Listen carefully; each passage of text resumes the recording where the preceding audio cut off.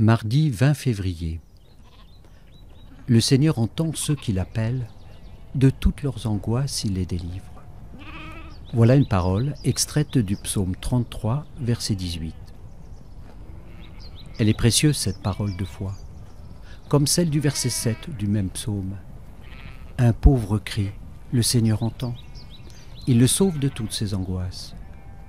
Ce chemin de délivrance, pourquoi ne pas commencer à le prendre par une rencontre, cœur à cœur, avec le Seigneur pendant ce carême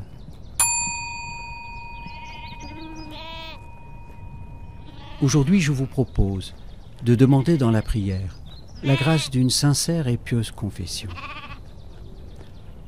Bon carême à tous et à demain.